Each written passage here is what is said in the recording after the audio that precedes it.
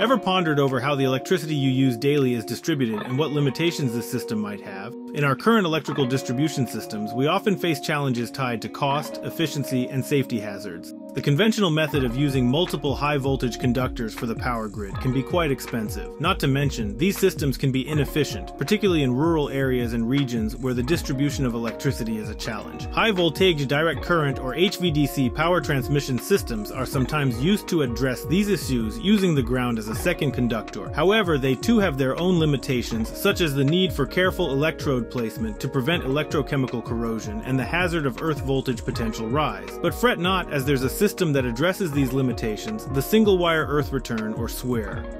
So, what exactly is this SWER and how does it work? Well, SWER is an ingenious system that saves costs in AC electrical distribution by using just one high voltage conductor for the power grid.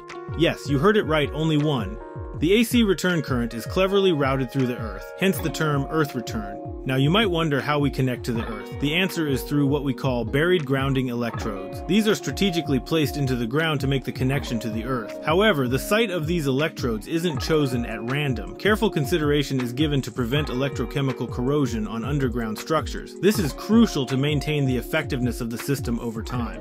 You see, SWER is a bit like the unsung hero of electrical distribution, particularly in rural areas where large earth currents won't pose hazards. It's a cost-effective and efficient way of getting power to places where traditional systems might struggle. But it's not just rural areas that benefit some high voltage direct current power transmission systems, especially those with submarine cables, use the ground and water as a second conductor. That's because seawater is an excellent conductor, making it perfect for this kind of application. Now it's important to note that this system isn't without its challenges. For example, a particular concern in the design of electrical substations is the Earth's ground voltage potential rise. The area around the current injection point may rise to a high voltage potential with respect to distant points. This is due to the resistance of the layers of soil in the Earth around a transmitter, creating a voltage gradient that can pose a hazard. Let's further explore some of these hazards and potential solutions. One of the main hazards is the risk of earth voltage potential rise. When large currents are injected into the earth at the surface, the area around the injection point may rise to a high voltage or potential compared to points around the transmitter. This is because the typical mid to high voltage ranges currently used, in conjunction with the limited conductivity of the soil, creates dramatic decreases in voltage with distance conducted. Now imagine this, the voltage gradient, or the change change in voltage across the distance to the injection point might be so high that different points on the ground could be at significantly different voltage potentials that current can flow between these two potentials. This creates a hazard for anyone standing on the earth in an area of the transmitters that is insufficiently insulated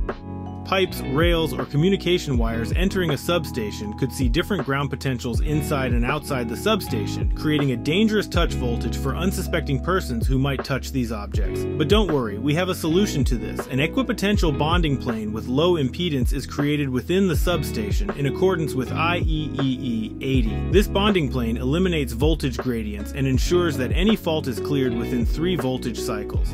And remember, power loss and voltage drop along a distance is current dependent. By stepping up the voltage and dropping the current, touch voltage issues can be eliminated. But even with these potential hazards, SWER still holds a significant advantage.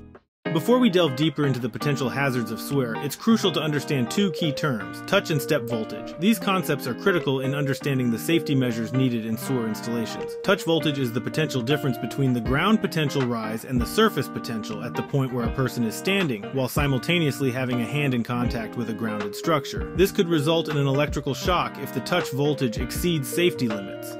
On the other hand, we have step voltage. This is the potential difference between the feet of a person standing near an energized grounded object. It's equal to the difference in voltage, given by the current flowing between the feet times the resistance of the earth represented by two resistive voltage dividers. The step voltage could also cause electrical shock if it exceeds safety limits. So, when we talk about hazards in SWER, we are essentially discussing the dangers of high touch and step voltages. With these definitions in mind, let's move on to learn about the origin story of SWER. Did you know that the concept of SWER has its roots in the works of a famous inventor? Yes, you guessed it right. None other than Nikola Tesla. His wireless electricity system was based on a similar concept, using the earth instead of wires to distribute electricity. Tesla strongly believed in the potential of the earth to act as a conductor and spent a significant part of his life experimenting with this idea. He envisioned a world world where electricity could be freely transmitted without the need for extensive infrastructure. Contrary to popular belief, Tesla's wireless system was not through the air. He tried this approach but found it unfeasible due to dispersion issues. Instead, he focused on the ground beneath us, seeing the Earth as an immense reservoir capable of becoming a conductor for electrical transmission. This concept, which is the cornerstone of SWER, was seen as revolutionary at the time and continues to influence electrical distribution systems today. So the next time you switch on a light, remember the genius of Nikola Tesla and the power of the earth beneath your feet. This is the legacy we continue to benefit from, as we explore more efficient and sustainable ways of power distribution. Understanding Tesla's vision requires us to delve deeper into the realm of high voltage electricity. Remember when we talked about power loss and voltage drop? Well, these are current dependent, with power loss being calculated as P loss equals R times current squared.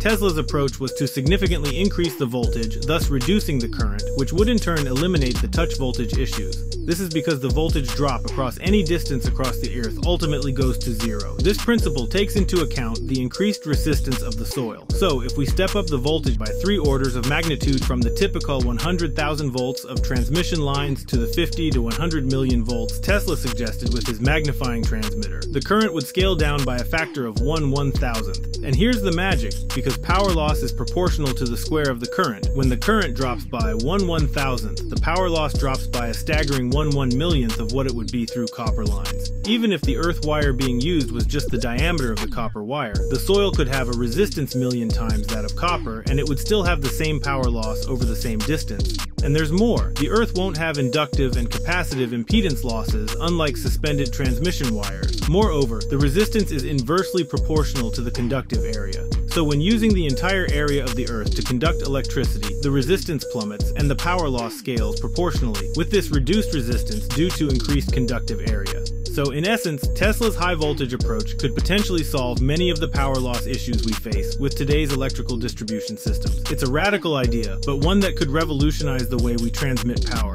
making it more efficient and sustainable.